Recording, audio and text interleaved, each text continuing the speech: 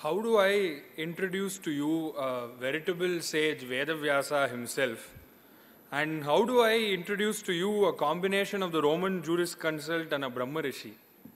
It's a task, uh, it's a very uphill task and it, it with trepidation, but it remains a pleasurable one. Sri K. Parasaran was born on the 9th of October 1927 to Keshava Iyengar, a seasoned doyen of the Madras Bar.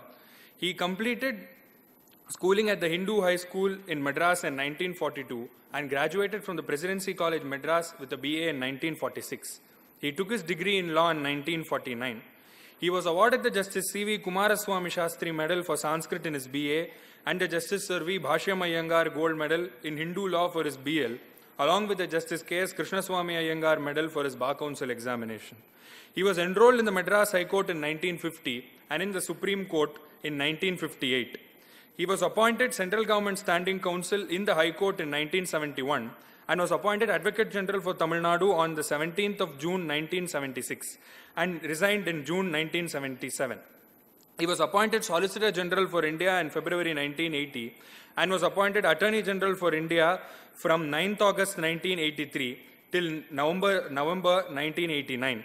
He served as president of the Indian Society of Criminology from 1984 to 1985 and was president of the Bar Association of India from 1984 to 1987. He led the Indian team to represent the victims of the Bhopal gas leak disaster in the proceedings against Union Carbide in 1984. He was appointed in 1986 as a member of the Permanent Court of Arbitration at The Hague. He was awarded the honorary degree of the Doctor of Laws by Annamalai University in 1989. In the year 2000, he was nominated as a member of the landmark National Commission for Review of the Working of the Constitution, which was headed by the former Chief Justice M.N. Venkatachaliah. In the year 2003, he was awarded the Padma, Padma Bhushan for his services to the nation by the President of India. And in the year 2011, he was decorated with the Padma Vibhushan by the Government of India and nominated to the Rajya Sabha in July 2012. In his career, an illustrious experience which by age, character, color, and content, and by sheer years, surpasses the very age of the Supreme Court itself. He has appeared in several constitutional questions, and most notably during those times in SP Gupta versus the Union of India, where after the arguments, we believe it was Sri Lal Narayan Sinha who got up and said that Sri K. Parasaran's written submissions are as good as a doctoral thesis. And maybe I dare say with humility, that Sri K. Parasaran was one of the greatest judges that the Supreme Court never had. January 5th, 2013 would be a day etched in our memories, for that was the day in which we heard this sagely lion of Dharma who thundered in this very auditorium, which was opened for the first time that year. And then th th thinking about that day, I was redolent with what Gajendragadkar had to say in the full court reference for A.V. Vishwanatha Shastri that nakaschit dhimatam vishayonam, that a true intellectual, there is nothing that a true intellectual does not know, and we realize the true potential of this statement on January 5th, 2013. And, and what we all felt was the music in our hearts we bore long after it was heard no more. Although all through the golden pages of Sri Parasaran's life, there is one message that ringingly sublimates धर्म एव हतो हन्ति धर्मो रक्षति रक्षितः तस्मात् धर्मो न हन्तव्यो मानो धर्मो हतो which is what Manu says. It's a Mahavakya for law and dharma as a whole. And for years of elevating experience, that and there can only be, we all believe, only one K Parasaran. Na, uh, as the ancient saying goes, there, there can only there can only be one such person. Therefore, it is my pleasure to give the stage to Sri K. Parasaran. May I invite you to address this gathering.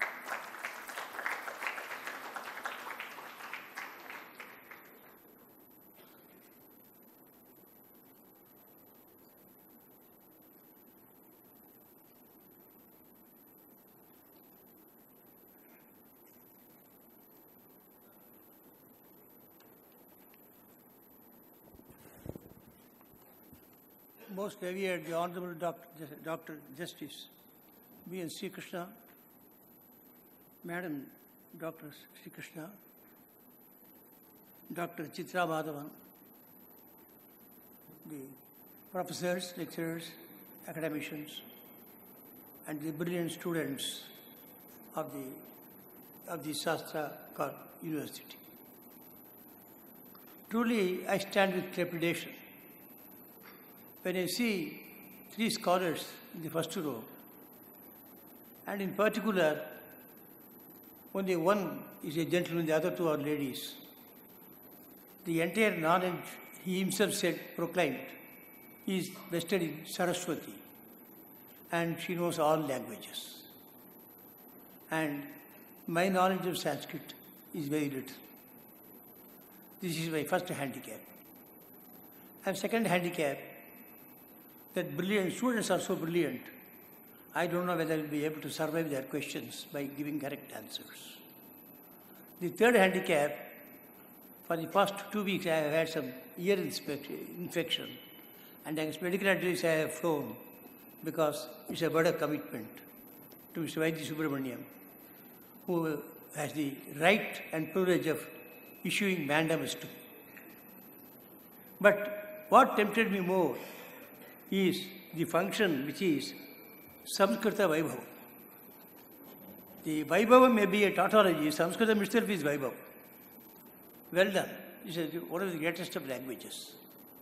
But I must congratulate this university because they have the courage to celebrate it in Tamil Nadu, while it's a matter of great controversy if you even utter one word of Sanskrit. This institution is already established a reputation. And I may start with congratulating students whom I am told yesterday won the moot court competition. I was not surprised when I heard it because if they participated, they are bound to succeed. Now I have been directed to speak on law and dharma. Dharma, we have had a wonderful exposition by Justice Sri Krishna. Because when you say Krishna, he expounded Dharma. That's the Bhagavad Gita. So today we had a replica by Justice Sri Krishna. And he also, when he was concluding in answering your question, referred to the motor return in the emblem of the Supreme Court, Yato Dharmas Tato Jaya. But in the High Court, it is not written as yato dharma tato jayaha. Satyam eva jayati. Do they conflict or do they the same? Is it a tautology or an oxymoron? Or are they the same facets? I had a few words I shared with you when I came here a few years back. But both of them querulous, their own conflict. Because justice is not different in Supreme Court, different in the High Court, different in subordinate courts. Justice is only one, uh, one, one and integrated one. It does not differ from court to court. But why have they put law and dharma? Law is one facet of dharma. Dharma is very, very exhaustive. As the judge pointed out, it's not a word you translate into another word. It's a concept. It is a banyan tree. Because not only the trunk. It goes on living on all the, you alone i have seen in those days, not now, the idea of banyan tree. That is Sanskrit, Sanskrit. And why did I say it's a banyan tree? Because I'm speaking a little about Sanskrit and Dharma before I come to Dharma, because the function is Samskrita Vaibhava. Therefore, it used to be said, தெள்ளிய ஆளின் சிறுபாழ்த்து ஒளிவிரை தென்னீர் காயத்துட் சிறுமியின் sirayinum." நுண்ணிதே ஆயினும் அண்ணல் யானை அணிதேற்பிறவி ஆட்பெரும் படையோடு மன்னர்க்கிருக்க நிழலாகுமே a gang king with a full army with all is horses and elephants can have shade under the tree that seed is only a very small one. And that word, Samskrita, is maybe one word. From that grows the banyan tree. You can see dharma, you can see philosophy, you can see debate, you can see law, you can see science, you can see economics, you can see politics. There's nothing under the sun, you know, subject under the sun, which you can't see in Sanskrit. And that is the great, greatness of Sanskrit. And that's our heritage, of which we must be proud. But one has to shudder in some places if one thinks or even speaks about Sanskrit. Now, we say law and dharma. And I said, yato dharma stato jaya. Where do you get it? All wisdom comes only from Mahabharata. There are frequent references to Mahabharata by the Anil Judge. It comes from the lips of Gandhari. I must remember that. One of the greatest of devoted wives of the husband who would make herself blindfolded, not blind. And every day before going to the battle, Duryodhana, he was an epitome of a model, a role model of a son's devotion to mother. Go and touch her feet. She will only say, Yato dharmas tato jaya. That is, you see, she knows her son is in the wrong. She has to bless him. She only says, Yato dharmas tato jaya. Because they will not serve from the path of justice and righteousness. That was the value which she followed. This is the greatness of our heritage and culture. The greatness I refer to because there, uh, it, it is, uh, there are a lot of alankaras in Sanskrit. Now, it is not only when I told the Supreme Court in the Gita, a judge was looking at me sarcastically, satirically. How is he blabbering? Why is it in Gita? But Gita starts the first stanza. The first word is Dharma Kshetre. The first two letters are Dharma. It concludes by saying Kimakurvata Sanjaya. The last word is Sanjaya. The last two letters are Jaya. Dharmo Jaya. That is what it is in the Supreme Court. That is, that's why yato dharmastato jaya. The justices are rightly pointed out, it's only behind. The judges don't see it. It is their, their own should see it first. Those who are appearing before him, they can come there for a result. And it only tells them, if you are on the path of righteousness, you win the case. But it is for the judges to see that they are always on the path of righteousness. This is yato dharmas jaya. Now let us see what law and dharma is. Some questions were put and answers were being given, pratyaksha, anumana, etc. Therefore, how do we establish something? Some questions also put on procedure. How do you establish a fact? Only by evidence. Not by mere evidence alone, and documents are orally, but by addressing arguments. Therefore, the arguments must be of a very high order. The Lord says in the Bhagavad Gita, Adhyatma Vidya Vidyana Vada Prabhadatamaha. Among the disputants, I am the Vada. That is, he manifests himself, the commentators say, he manifests himself in those halls where the debate is of the highest order. And even there, he manifests himself in that argument which is the best. Knowledge should not be left in a dubious state. All doubts must be cleared by the generation of correct knowledge of truth. Doubt is the one impediment to fulfillment. The doubting man affects his own frustration, is what the Lord says in the Bhagavad Gita. Vada is truly a science, it's a sacrifice, it's a yajna for determining truth and should be understood and conducted as such. The noblest of minds have been the staunchest of disputants ability and honesty, amity and balance, fairness and fearlessness are essential to those engaged in vada or disputation. Ignorance and prejudice, untruth and deceit, bigotry and malignity are the very enemies of vada. The staunchest of disputants have been the fastest of friends in life. Debate is one thing. But at the end of the debate, there is no rancor, there is no enmity. You debate so that you find out where the truth lies. The, this is the essence of debate to arrive at the truth. I think I shared with you last time yeah, an anecdote of how on, on the same fact two different conclusions were arrived at. It was in the context of astrology or nimitta. A gentleman had gone to Varanasi and naturally going on a pilgrimage, going to Kedarnath, Badrinath, etc., Himalayan trains. He had not returned for several years, a few years.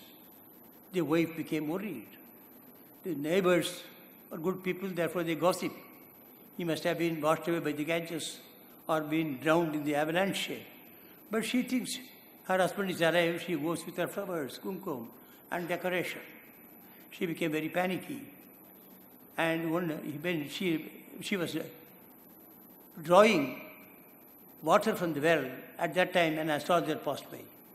He asked him, Is my husband alive? He went to Varanasi, he has not returned for nearly a year. At that time, the rope was a old one. It was almost in a position to give way. The vessel was, when it drew the water, that weight it could not bear. It gave way. The vessel went into the well. The astrologer said, Madam, your husband is dead.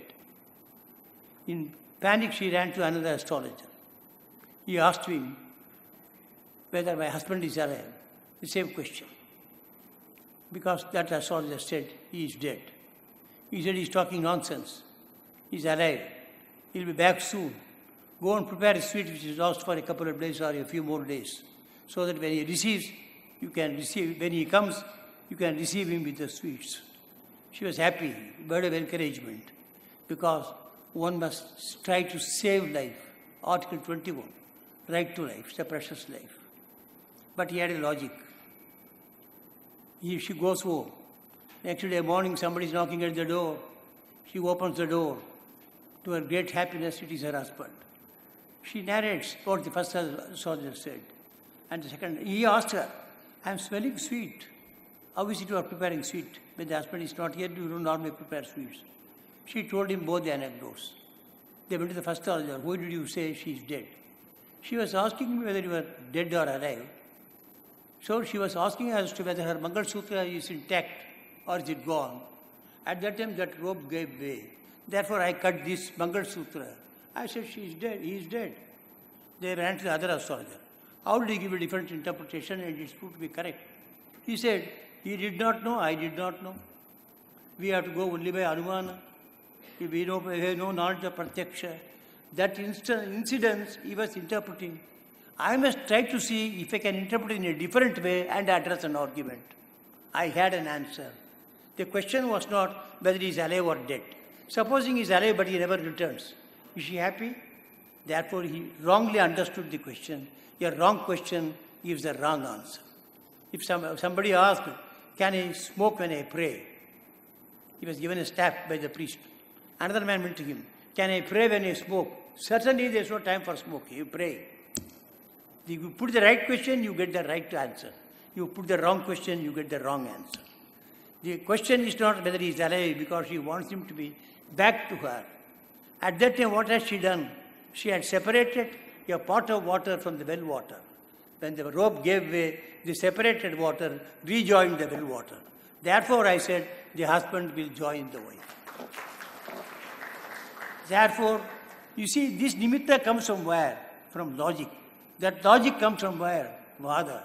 That vada is one which leads not only to truth, but something which is hita, which is in public good, which will do good to others, which will save their life. This is the glory of wisdom and knowledge. Knowledge is very proud. I know so much. Wisdom is very humble. I know only so much. The first man had the knowledge, but the second astrologer had the wisdom. A lawyer and a judge, what is required is wisdom.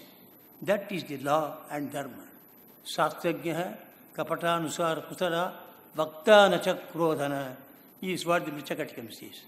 He must be learned in the laws, but he must be learned in also other subjects. So Ishwar only says Shastragya hai. He does not say Nyaya Shastra. Kapatanusara Kusala, he must know the hanky-panky of which the parties are capable of playing, both the private litigants as well as the government. You see what all have happened in the government when the previous government goes and a new government comes. When a new government goes, another government comes, many more things will come. Therefore, the judge must be able to appreciate the hanky-panky with their are Vakta, absolutely dignified. The judge, the, the court, not only he must keep dignity, but he must ensure that everyone keeps dignity in court. There's no levity. Nachakrodana never lose his temper. Once a judge loses his temper, there is no guarantee his judgment will be correct. It is, it is uh, not only what the Shastras say, I will come to the necessity to the text, but the pre-comes to say. said it as early as 1945. Judges are no doubt human, and their patience is often sorely tried by counsel and litigants. But it is to be regretted that judicial temper should even appear to be lost, not lost. But parties who are responsible to bring about that situation have no business to complain. This is the warning in 1945 Privy Council in Vassiliades versus Vassiliades. Now, coming to the heart of the matter, law and dharma. When you are a profound scholar, I don't want to dabble about it. But he himself gave a lecture at Delhi. That was a speech delivered under the auspices of search as early as 2005, and his speech is still ringing in my ears after 11 years. And it was on, uh, our, on the subject of spiritual heritage, where he has elaborately dealt with Dharma. And as Sri Krishna has said, the sanction being law, I had it collected and sent to Law Weekly for publication after taking his permission. The, then he, he, they had also had it reported in the SEC. The sanction behind law is the collective will. The collective will, this is in the context of dharma he is saying it. The collective will must of necessity reflect the accepted values of contemporary society. Though such values may vary, vary depending upon temporal and spatial constructs, there remain certain core values which are accepted as immutable and consummate. The justice of laws and the obedience commanded by them depends on how closely they resonate and core values. What is important is universality of law. Basic laws are eternal and universal. Other laws are not universal or eternal like for instance partition, succession, intestate succession, marriage, divorce. They change according to times. They are different in different countries. But basic laws are eternal and universal. They don't change. That's why we have got human rights to which most of the countries uh, are parties to, to human rights. Right to life is a basic feature. It's a human right. It's not only human right, even animals you are seeing. The only exception is if you are a uh, non-vegetarian, you have got a right to kill. But if you are non, not a non-vegetarian, or even if you are non-vegetarian, if it's not for your food, if you kill, then it becomes a sin. In Tamil we say, Konna paam, tunna poch." Rama says it to Valmiki. That's the only exception. And debate is going on, of course. That's a different story. Cow one should not, that's a different story. Different is going on vegetarian. If everybody becomes a vegetarian, we will starve for veggie vegetables they won't get vegetables. And in 1942, in the book Our India, Minoo Masani wrote one chapter, The Puzzle, about India, Bharat. He says, poverty amidst plenty. This poverty amidst plenty is because agricultural economy was ignored by successive governments. And therefore, poverty amidst plenty. Corporate sector uh, economy is also necessary. But agricultural economy is also very necessary would have been taken care of, there would not have been so many suicides of farmers. Of 40, uh, 20 farmers day, media will say 40 uh, farmers committed suicide because 20 of them would not have been agriculture is at all, but they have committed suicide. But this is a fact of life. Now, one more passage I am reading from his speech at Delhi. Both law and dharma act as means to keep under check the primeval instincts of the social constituents. The greatest such restraint the more refined and evolved is society. Any system of rules for orderly transaction in society must of necessity pay obeisance to this concept of reason. Whether we perceive law as the means to attain the abstract goal of justice or as the means of social engineering, we have to ensure that this instrument is tempered and imbued with cherished values of society. Now, having said so much a lawyer always go by precedents, and precedents are either judgments or eminent judges. Having quoted one eminent judges, of the Supreme Court, former Supreme Court, former judge, now I will quote another judge, Chief Justice Rajamannar. Chief Justice Rajamannar of the Madras High Court and Chief Justice Chagla of the Bombay High Court were two great renowned Chief Justices. It was in a centenary speech at the Madras High Court, centenary celebrations of the Madras High Court, where he was speaking about law and dharma. He says, I quote, law is something more than a mere secular code of conduct. It is something more and something higher than the contents of any statute book or volumes of judicial decisions. Its foundation is the concept of justice, an instinct for which is deep-seated in our moral being, though it's incapable of precise definition. The content of the concept of justice may vary from age to age, from country to country, and in different stages of social development. But its categorical imperative is constant. That is, the common denominator which is constant is dharma. That's very important. There may be swadharma, puladharma, shankadharma, desadharma, Loka Dharma and Yuka Dharma. You can even say Vritti Dharma, lawyers, judges. We are all carrying out an activity. Uh, the, but Dharma is constant. No legislation can last which does not flow from this foundation, from this fountain. It is often said that legislation represents the voice of the people, and the voice of the people is the voice of God. Our election speeches, Makkal Tirpe, Mahesan Tirpe. They, you see, it also, Yen just quotes scriptures, but others also quote scriptures. The systems and laws made in such utter disregard of the voice of God may, I'm sorry, uh, systems and laws made in such utter disregard of the voice of God may appear to meet with success temporarily, but sooner or later they are bound to perish. No law which does not satisfy the ethical conscience, that is very important. When we say current social values, the values must be ethical value, ethical values. Ethical conscience of the community can survive.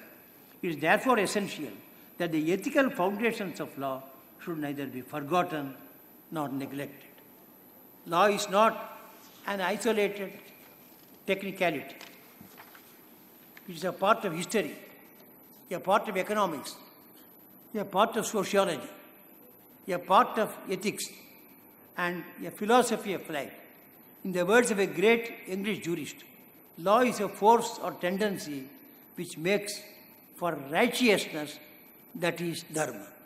So, dharma, Chief Justice Rajamannar says, is righteousness. Stand steadfast on the path of righteousness. You have conformed to dharma. If you are conformed to righteousness and dharma, you would not have disobeyed any law. Therefore, it is said with legal maxim, ignorance of law is no excuse. Not because one can violate the law and then say, I did not know the law. Because if one acts according to dharma, according to good conscience, if he is righteous, he would not have violated the rights of anyone. The emphasis today has been too much on rights. Nobody speaks about duties. There are no seminars on duties. One PIL was filed, notice was issued by Chief Justice Anand. I was appointed as amicus. And such good cases die a natural death. It was almost made infectious. No inquiry was made, no hearing was made. Because nobody likes about to be talked about duties, you know. Therefore, everybody wants rights. We have to today talk about women's rights. And Justice Krishna reported to the Muslim women claiming a right of entry in Bombay and uh, the Hindu women claiming a right of entry in the temple at Sabarimala. Therefore, it is, it is a tragedy that in a country of India, we have to hold seminars for rights of women. A country where women were held in the highest of esteem. Yatra नार्यस्तु पूज्यन्ते ramante tatra devataha यत्रैषा तु न पूज्यन्ते तत्र सा Only places where women are given their due place of pride there whatever you do will bear fruit. If you don't give them that due place, then whatever you do will not yield results. If you want learning, you must go to Saraswati. If you want wealth, you have to go to Lakshmi. If you want Shakti, you have to go to Parvati. And all the, everything had been good. The mistake was in interpretation. Interpretation by the conservative scholars, the people like Prataparudra, finished the women with regard to their right to succession. Da, widow Daughter-in-law was finished. There were also people like Viswarupa, Vijnaneshwara, who interpreted it correctly. One illustration, for instance, a son's widow is entitled to a share. But they were denied the share and thrown to the wolf. Hindu Women's Right Property Act to be passed. That only gave them a women's estate. Then, uh, the, the, till 1956, Hindu Succession Act came the text was misinterpreted. If a son predeceases the father, the widowed daughter-in-law is entitled to share. Because the, the text was how misinterpreted was, a rule need not be stated. An exception had to be stated. The rule that the daughter-in-law gets need not be stated. But the, when they are giving the order of succession, it included the mother and the grandmother the, therefore, I mean, that means the, the mother and grandmother of the our, our husband, not hers. Because his property goes by succession. Why? Because all the ladies had to be taken care of. This was the text. The exception is they. Normally they don't inherit. Why? Because when the son is alive, he takes care of them. The mother and grandmother, he takes care of them. Uh, the, the text, sometimes I forget the text also. Therefore, the, the even Manu's text was has been misinterpreted. Pita Rishati, Bharta Rishati, Putra Rishati, even that is mistaken. It is not as if the women of the position are reduced, but it is casting a duty on them to see, don't see that they suffer. Everywhere, because Dharma talks only of duties. It does not talk of rights. Therefore, it imposes a duty on them, please take care of them. This is interpreted by approaching it from the wrong end, namely rights. It is not to diminish their rights. Having given them their right, how will it diminish it? Eminent judges have failed in interpretation. Forget Prataparudras. Varadachariar failed in the Supreme Court, in the Federal Court, when interpreting Hindu Minister Property Act. He interpreted separate property means it includes uh, uh partition in joint family property, it includes self-figure property. But it will not include the property of a sole surviving coparcener. Yeah, an eminent Hindu lawyer who knew Sanskrit. Another eminent judge who dominated the Supreme Court bar, Mr. I do not tell the names. I should, I'm, I'm sorry. I apologize if I am told Bharatacharya. You can, you can guess who this is. He dominated the Supreme Court for Purita. He held a father is not bound to meet the marriage expenses of his daughter unless he has inherited ancestral property he need not meet it from his certificate property. The text says, Prabhupada Dvadase Varshe Yakanyam Naprayachati, Mata Chaiva Pita Chaiva, Jeshta Brata Tataiva Cha, Trayaste Nargam Yanti Dhrishtva Kanyam Rajasthalam. Is a text. He says recommendatory and not mandatory. The Hindu Women's uh, Right to Maintenance Act now provides, uh, maintenance. sorry, Maintenance and Adoption Act. I make a mistake in taking, provides in explanation to a section, maintenance includes marriage expenses of the daughter. You see how the, the mistake is not in the ancient text. They are being condemned, they are being ridiculed. The mistake is interpretation. Different judges also interpret. They can also go wrong. Commentators can go wrong. Nobody is infallible. But if your vada is correct, sadvada, and not vitandavada or jalpavada, you get the result. The result always advances public good because we are on the path of righteousness. Dharma does not do injustice. Dharma only enjoins people to their duties. And everybody in this country performs his duty, whose rights will be affected? What is the need for a 32 petition? What is the need for a PIL? And today Supreme Court is flooded only with PILs. Supreme Court has got a dharma uh, supreme and lawyers have got a dharma, the executive has a dharma, the judiciary has a dharma, the legislature has a dharma. They are demonstrated by anecdotes in our scriptures, in Sanskrit. But are they following the path of righteousness? There's a separation of powers.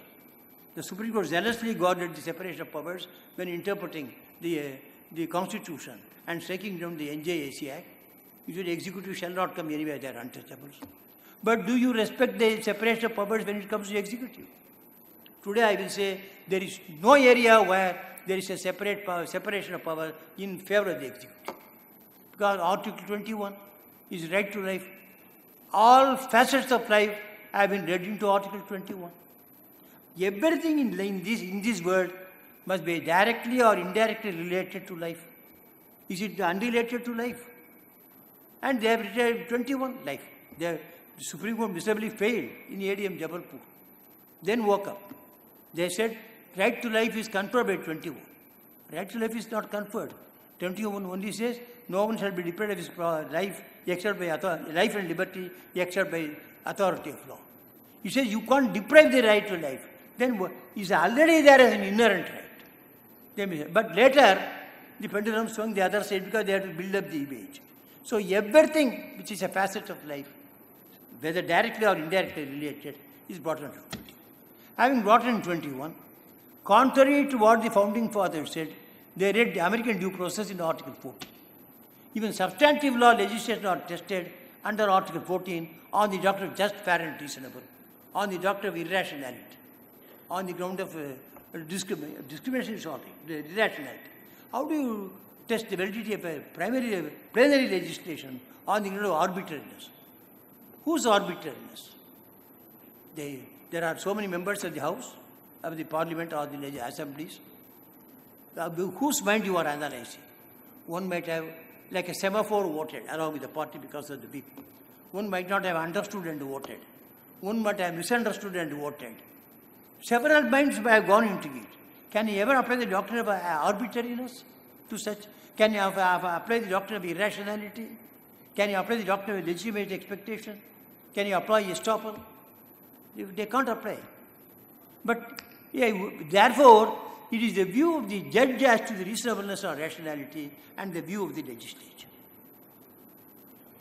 You see, the best process, uh, better would be leave it to them to do their job. Then you have, you have the judicial review. It's a basic feature. Nobody can touch it. Then you exercise your power. You have the advantage of somebody doing it. When we do it, we won't see the mistake. When somebody has done it, when you examine it, it's easy to find out whether it is right or whether it's wrong. There's also a protection because two minds have been applied to it. They are not in a great hurry. I have preempted, decided in advance. They must always allow the executive to perform its functions, the legislature to perform its functions, and then exercise your basic feature, your judicial review, and correct them. Not that you can't do it. Any appointment, after appointment, writ petition. Before appointment, writ petition. Any scheme they want to do, before the, in policy matters, apply Article 14. You preempt, you do this. You see, they need not always be right. The say, executive or the legislature need not always be right. But it is not as if the court should interfere and should always uh, say it is wrong, therefore the right thing should be done. There are areas where there may have to be a compromise so that the society get uh, gets on without any problem. There's an interesting book by one of the greatest of lords, Lord Sumption, and the limits of the law. This aspect is discussed. He says, I'm not omitting the previous uh, paragraphs and pages to cut short the time. So it may appear as if I'm starting abruptly, but the idea you get, get it from it. I think that their attitude, which is shared by some judges, overlooks some fundamental features of political process. Democracy requires a minimum degree of social cohesion and tolerance of intolerant internal differences in order to function properly, but provided that these conditions exist. I would like to suggest to you that politics is quite simply a better way of resolving questions of social policy than judge-made law. Public law questions which come before the courts are commonly presented as issues between the state and the individual, but most of them are in reality issues between different groups of citizens. Take Sabarimalai. There are two groups. One group of ladies saying we should go. Another group of ladies saying we should not go. Even amongst the ladies themselves who fight for their rights, there's a difference of opinion. You can't mechanically apply Article 14. I don't want to discuss it here. Sub judice, I am myself appearing the matter. I have never discussed a case in which I have appeared.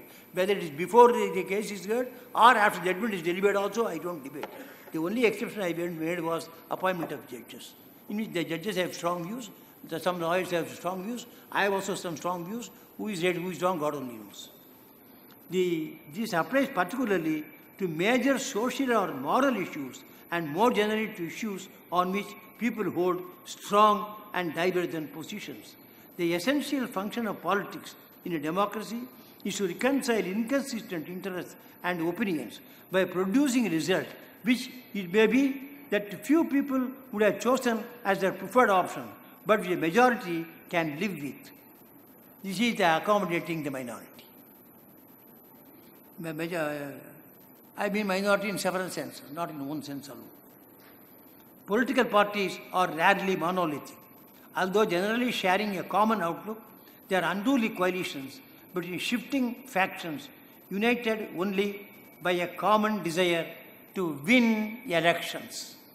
They therefore mut mutate in response to changes in public sentiment in the interest of winning or retaining power very important.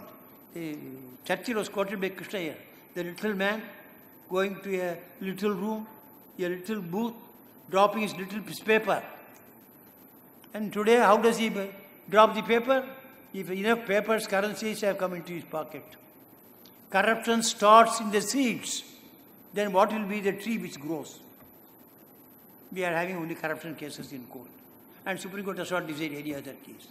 And even there, the separation of powers, forget one type of separation of powers.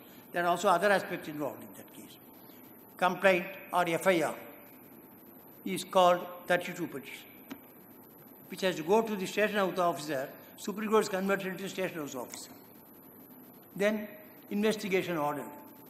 Supreme Court is an adjudicating authority, not an investigating authority. Who, who, and it says, no, no, we are only monitoring monitoring investigation, I don't know. I don't, I don't feel, say, they feel that it is adjudication. You are still monitoring only investigation. As it is 1945, the Supreme Court said, don't interfere at the investigation stage. They should not come at the investigation stage.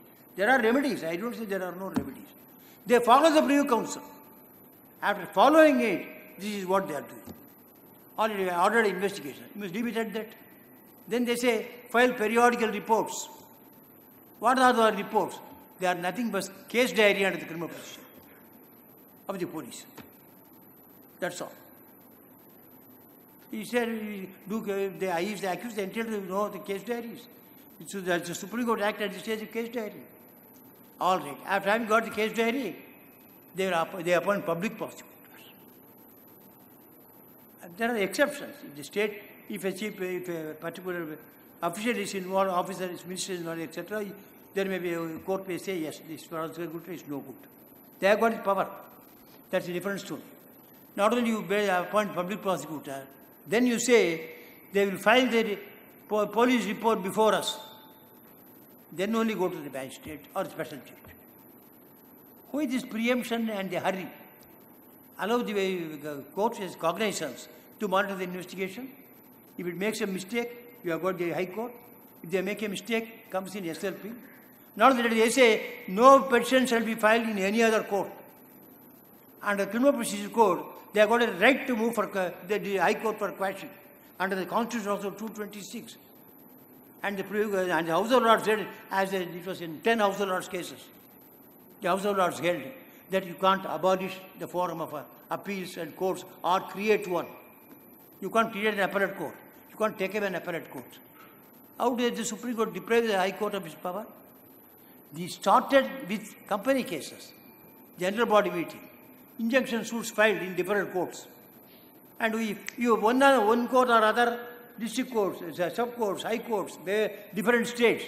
Therefore, they said no, go only to one court. We have started extending it to criminal cases also. We have started investigation.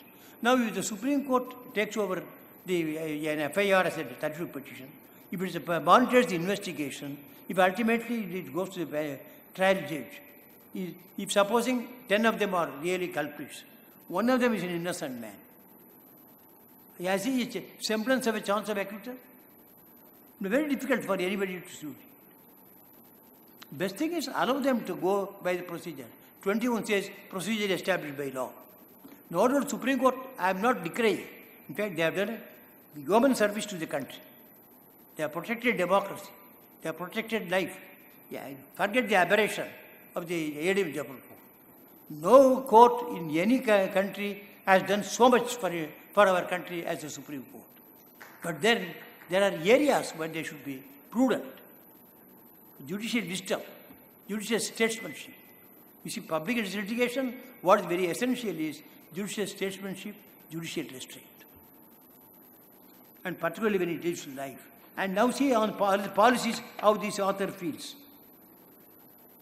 They are instruments of, they are, they are instruments of compromise between a sufficiently wide range of opinions to enable a program to be laid before the electorate with some prospect of being accepted.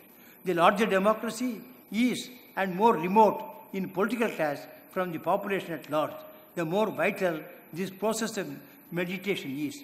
It is true that the political process is often characterized by opacity, fudge or irrationality, and who is going to defend those? Well, at the risk of sounding paradoxical, I am going to defend them. They are tools of compromise, enabling divergent views and interests to be accommodated. The result may be intellectually impure, but it is frequently in public interest. Unfortunately, few people recognize this. They expect their politicians to be not just useful, but attractive. They demand principle, transparency, and consistency from them. And when they do not get these things, they are inclined to turn to courts of law instead. The attraction of judgment law is that it appears to have many of the virtues which the political process invariably, inevitably lacks. It is transparent, it is public, above all, it is animated by combination of abstract reasoning and more moral value judgment, which at first sight appears to embody a higher model of decision making than the messy compromises required to build a political consensus in a parliamentary system. You may have basic, basic compromises if it will bring law and order properly, if it will maintain the society, there will be no problems. Take, for instance, this Jat reservation, where, where the Supreme Court judgment very probably is correct. I am not joining issue. But see the fallout of the Supreme Court striking down the Jat reservation. We all know what a loss of property, loss of life, how the modesty of women were trampled upon in, in Haryana. Therefore, the, I don't say the reservation is right or constitutional. Supreme Court, as we have written, is one of the greatest scholar judges today at the Supreme Court, Justice uh, uh, Nariman. So I am not joining issue with the judgment. But you see the follow. Supposing they are able to arrive at a political compromise and there is no law and order problem. Supposing it is tolerated. Therefore, allow this process to go or go on. Now they are thinking of legislation. At that time it was not legislation. Now again it will be tested. How do you go about it? On the contrary, you see the other, other matter, the Mandal Commission. There's a law and problem. Lives were lost, agitation. The matter went to court. They kept it sub judice, allowed the time to lapse, acted as buffer. Feelings died down. Then questions were framed, nine judges sat and decided. The problem was solved. There are situations where, that is, Kala Dharma we say. Today it not, may not be good to do it today. You may have to postpone it. This is, these are the problems. The, in fact, the, the government had this problem in the Ayodhya case. They passed the ordinance and also a presidential reference. The president was reluctant to, uh, and he was right, uh, they, they, they, referring the questions to the Supreme Court. And in fact, Supreme Court had refused to answer the reference. He was advised, I don't want to say, people are all involved in that advice. He was advised, it is not as if you are not correct, probably you are correct. But then we want time, because there's so much of uh, agitation in the country, somebody to, as a shock absorber for some time, so that the matter may be dragged It's on that reasoning that he gave the, he cleared the papers. Though uh, under the constitution, it is on second, second time, it is necessarily to give his assent or clear the papers. They expect their politicians to be not, I, did that, in, it is public. Above all, now we see also here, when it comes to government, Right to Information Act. When it comes to court, no right to information. Now politicians are agitating. Today's newspapers you would have seen. No right to information of political parties. When it comes to me, no. When it comes to you, yes. Right to Information Act. Agitation. They will uh, fight for the right information The government Why? People who are not in power will fight the government for information. People in uh, power will say no information. The court does not want to show everything is openly heard. What is the right to information? But appointments, sometimes controversy arises. Is there anything available? Article 1, I think my time is up. No? I can go on? You must cut, cut me short. Lawyers, once they, once they start, they won't finish. And the Supreme Court seniors, the meter runs till now by day fees. Hereafter, uh, our fees also. We'll go on talking. And uh, if I stand up, I'll stand, go on talking. Uh, uh what's the time now? Till 12.30. Till 12.30? Very good. I'll be keeping in my eyes on the clock. Therefore, they say, the, I would say, very interesting uh, uh, discussion in this book. As, therefore, there can be compromises, eh, and more very, very interesting passages are there. I've cut short the time. Therefore, the, the separation of powers doctrine, that's also a basic feature. Judicial review is a basic feature. The Supreme Court's contribution is immeasurable. One, the citizens of this country must be thankful to the Supreme Court. But there are areas where it will be desirable that they exercise judicial restraint or and judicial status, Particularly, and PIL is taking too much of uh, court's time. Criminal appeals are pending. Civil appeals are pending. Accused are languishing in jail. But uh, uh, is it a pressure to him to get an acquittal after having suffered most of the sentence and then get an acquittal? The, therefore, the law must conform to, must follow along with the rule, rule, of, uh, rule of justice, the concept of justice. The, that is dharma.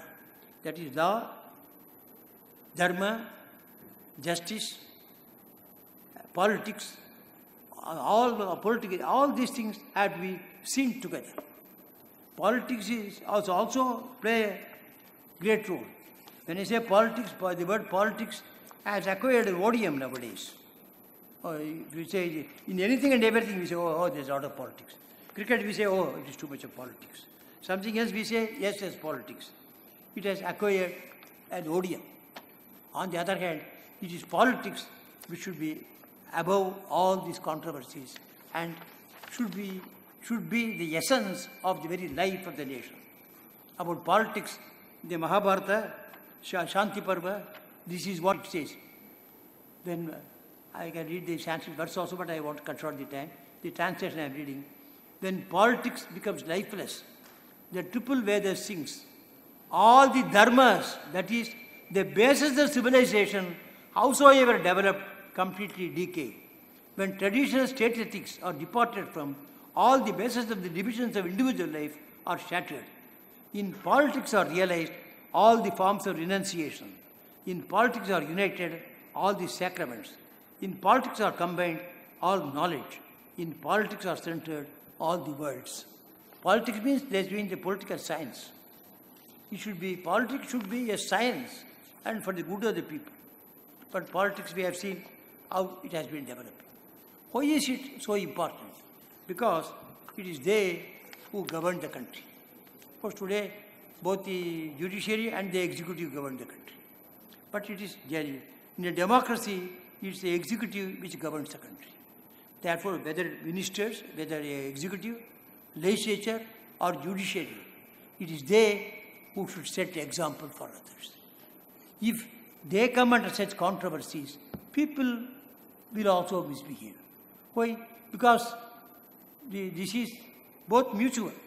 You vote because it is given. They come to power, they are run after there was some discussion went on about dharmartha kama moksha when my, the previous speaker was speaking. As he rightly said, artha is a means. You can't ignore money. Money is also important. But dharma is the constant factor everywhere. Money has to be earned, but earned to be earned by the right means. If there is no money, he is, is, is less than a human being.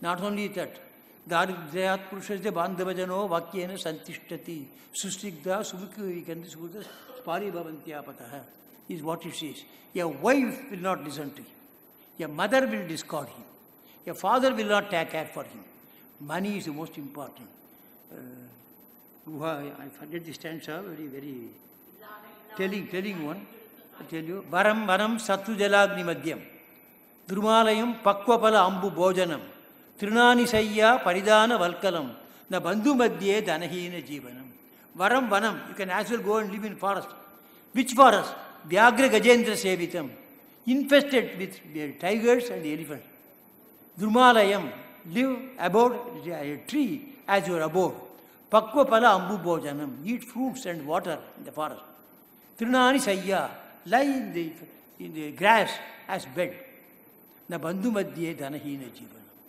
Money is necessary, must be earned in the right means, after having for the sustenance, for you to serve the community. If you don't, if you have the, don't have the means, you won't be able to serve the community. That's why Shankara says, Deyam dinajanaya chavittam. So if you have got enough wealth, see that you distribute it dinajanas. Therefore, for that also you require money. But all the, the denominator, as Chief Justice Rajamannar says, the common denominator is dharma.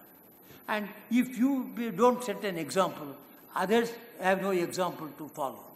If you set a wrong example, they will easily catch it. Oh, is he not doing it? Why should I not do it? That's what the Gita says. All of you know of that very familiar stanza. Yad yada charati shreshtaha tad deve tharo janaha sasatya sasat pramanam kurute lokatad anuvartate. If whatever action a great man performs, performs, common men follow.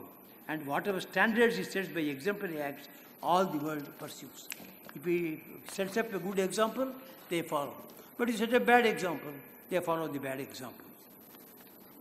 But the, says, he said, the, our, the, our text, Sanskrit text, as rightly said, it is not as if we say, uh, because of Pushya Marma in that day, and it is not in that sense. But all these things, they were able to conceive whether it existed or not, it is not as if they could not conceive. You see, we see in the Puranas, Parameshwara takes one jata, throw it away. Bhutagana has come. Will anybody believe it? No, Anand will believe it. But today we have got the cloning from one air. How does it get? They were able to conceive everything, whether it was there or not. One need not be fighting, saying, which was there in the Vedic days, rather than another saying, they are all talking nonsense. But they, they, they were able to conceive of these matters. And today I refer to it because today it is a coincidence, is Mahashivaratri. It has very relevance, great relevance. Why? Why Shivaratri, why is so great relevance? Because Shiva means saturated auspiciousness. Therefore, today is a day of great auspiciousness.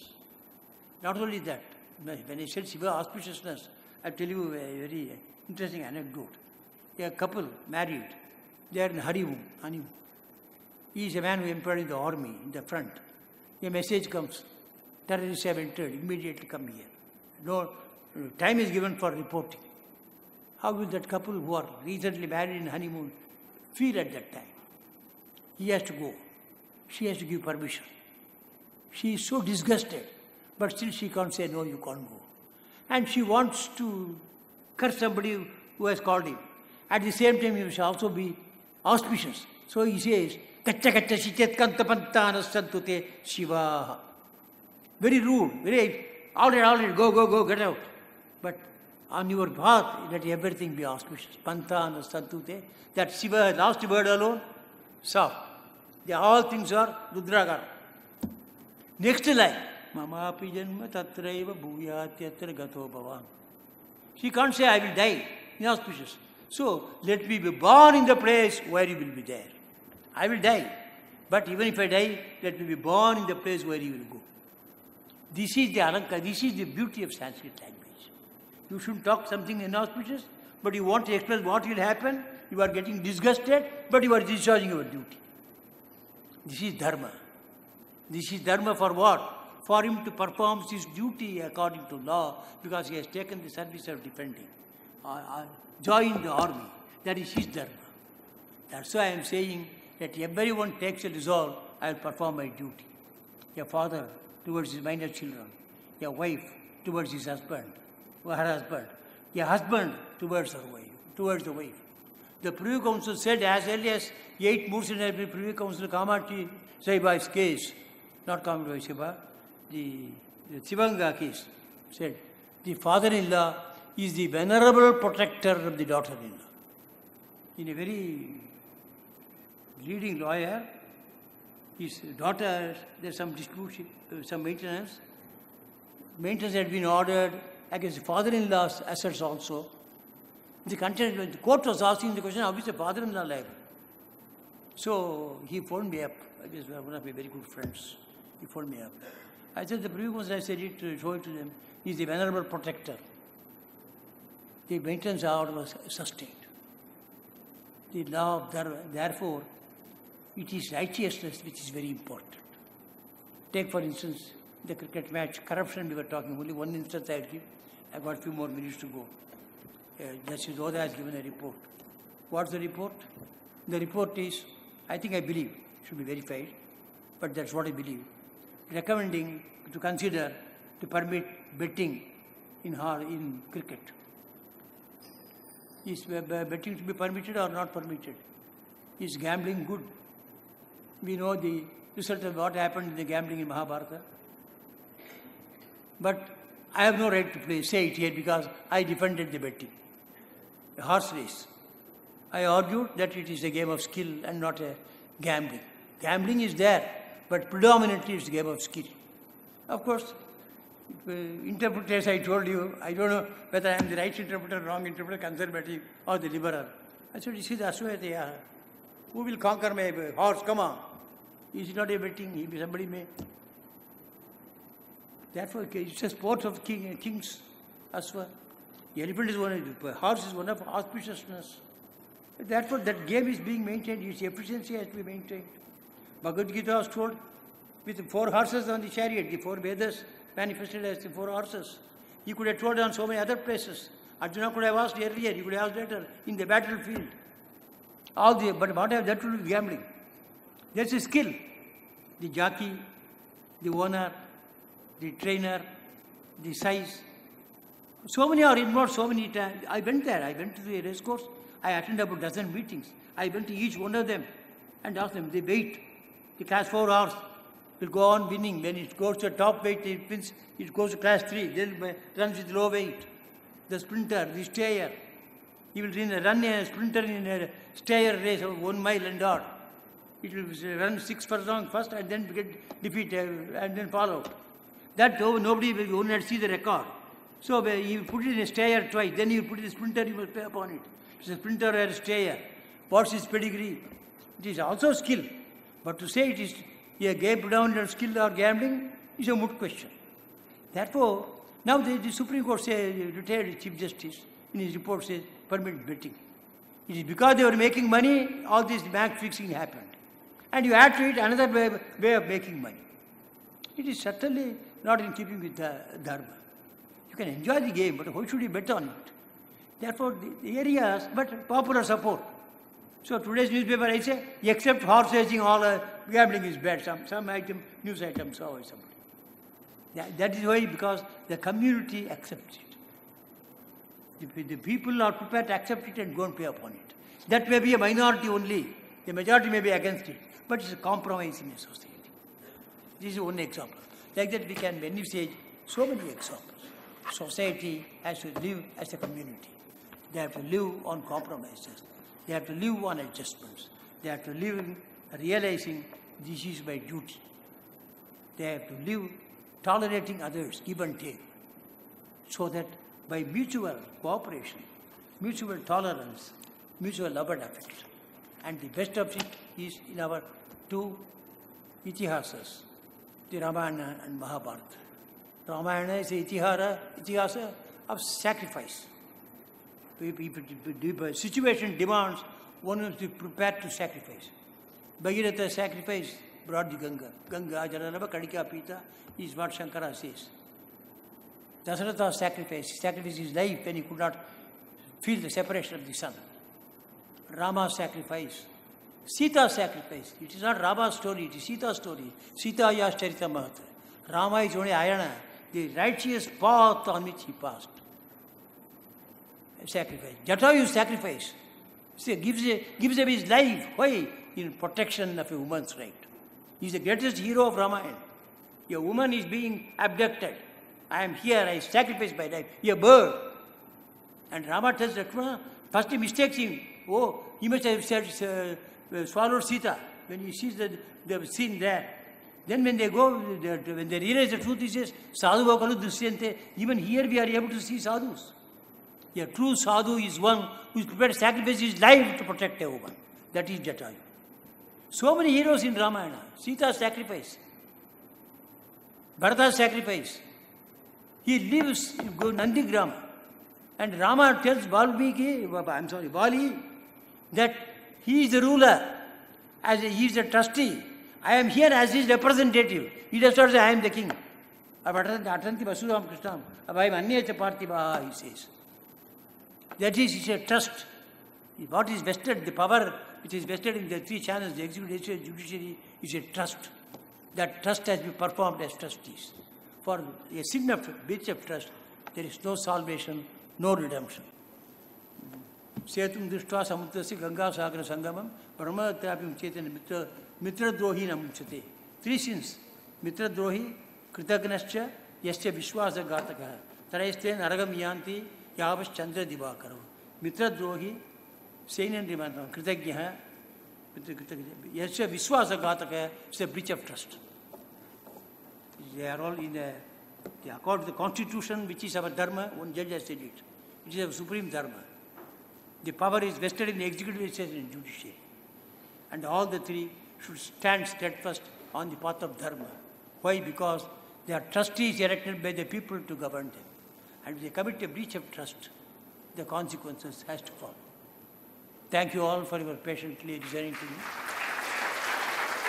I have come with a, I, have, I came with a little preparation, not much time.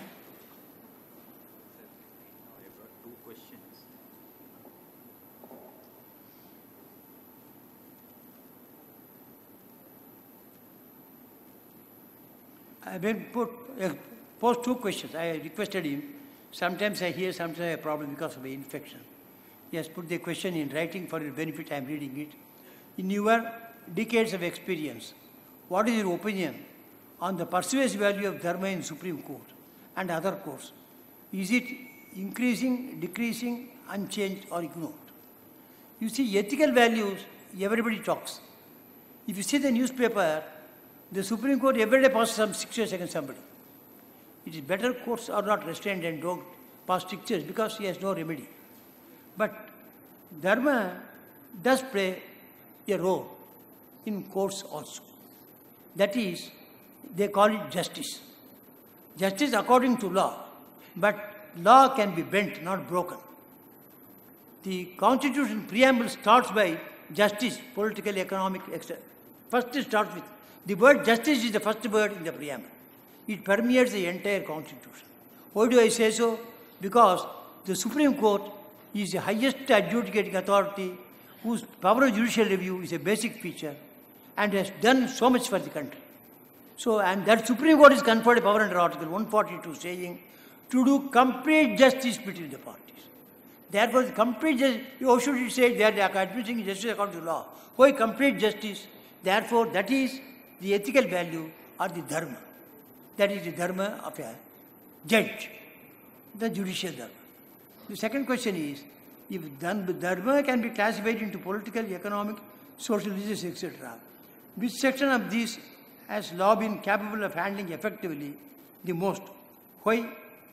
Why not? If dharma can be classified, you see, dharma itself is not classified as political, etc., etc., etc political, economic, social, religious activities have to be themselves to be modulated by dharma, ethical values. Therefore, in each one of them, there are certain, certain values have to be followed. Politics, as I gave one example, how ethical values have to be followed both by the voter and by those who are voted to power, not to be taken away by corrupt motives. Like that, the economic values. The economic values means, for instance, corporate sector economy, is one aspect. Agriculture economy is another aspect. So this is, in those areas also, you must do dharma. The, the, the, therefore, the policy decisions are taken to advance the good of the public. The advancing the good of the public is their economic well-being. Therefore, their ethical values. How do you advance it? Like that, every one of them, social. Socially, there also ethical values are there. Moral values are there how you conduct yourself in a societal feature with so many people having, this is a pluralistic, pluralistic society, that's very important. There are also the, the ethical values, that is moral values, thing which your conscience is, that is, for instance, doctor, it is Saint Germain said it, as to how you should be dictated. He said, just as a small lamp in a fully dark room throws light and shows every object in the dark, every object you can see. Every man has been bestowed by Almighty the Creator with good conscience. That good conscience is your right. That good conscience is the dharma. It tell you which is the dharmic path. But knowing this is the dharmic path, the man goes and commits theft and puts it in his pocket. He knows what he is doing is wrong. Therefore, you take every aspect of life. When you are doing something wrong, your good conscience will say it is wrong. And th therefore, whether it is economics, politics, social, anything, it is your good conscience which says this is the right path. நீதி வழுவார் நெறிமுறையில் மேதினியில் இட்டார் பெரியோர் இடாதார் இழிகுணத்தோர் நெறிமுறையில் ittar. not that you, you wrongly translating itar means one who gives, not, not that. Nerimurai, the path, the path of justice, the path of righteousness, for those who stand steadfast on the path of righteousness and walk on that path, they are perior.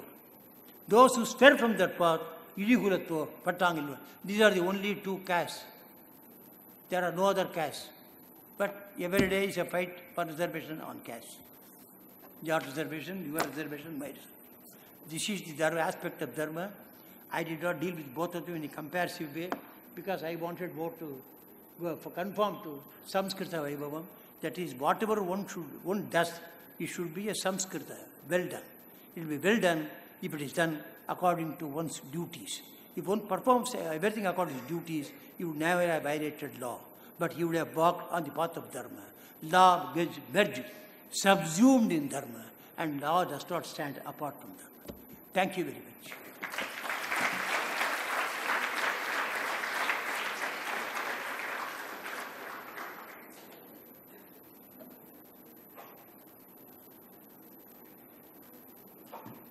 It is Subramaniam Dean Planning and Development to present a memento to Sri K. Parasaran.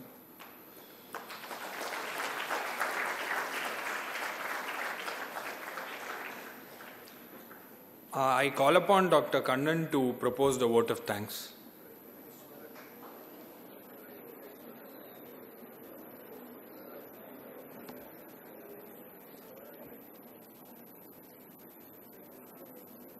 श्रीमान वेंकटनाथार्य कवितार्क केसरी वेदांताचार्य वर्गो में सनिधत्ता सदा हृदय basically I am a professor of mathematics so I start with permutation the concept of permutation is found in our ancient scriptures as early as in Pancharatra Agama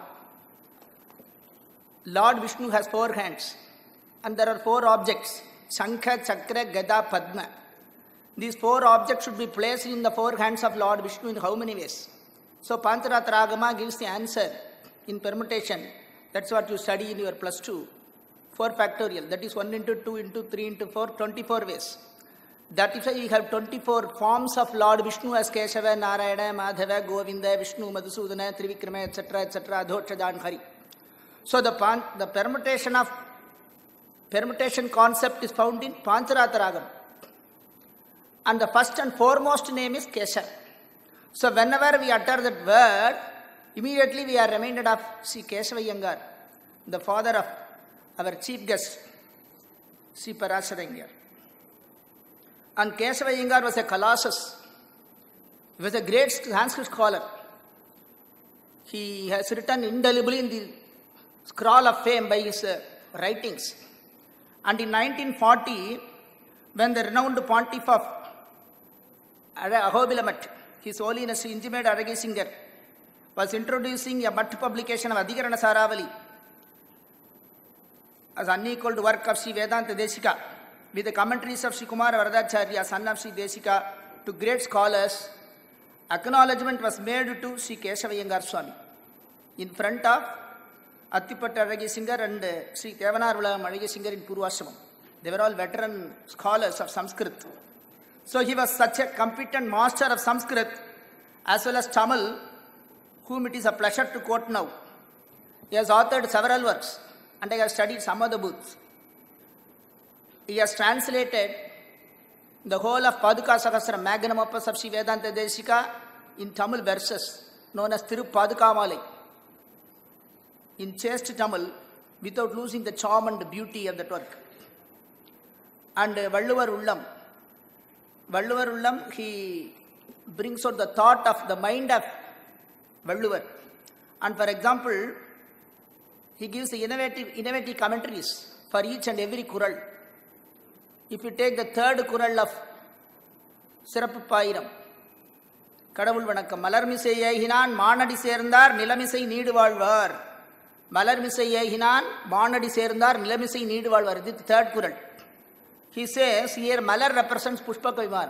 Pushpaka. Yehinan, Yehinan is a Tamil word that is not used for sitting. Yehinan means somebody going fast.